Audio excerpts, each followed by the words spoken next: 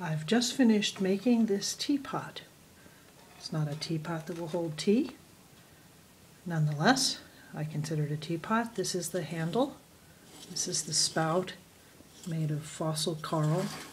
The bulk of the piece is made out of sterling silver, and you can see the house through the trees there as I turn it around.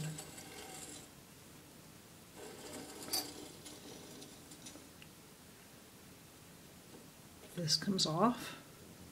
This dome is made out of sterling silver with a gold setting on top, with a three carat faceted sunstone at the top of it.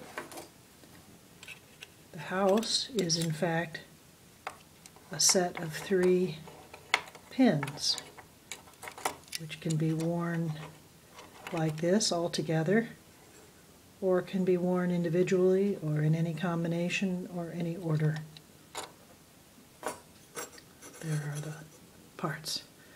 This uh, took me about a solid month of work. Long days.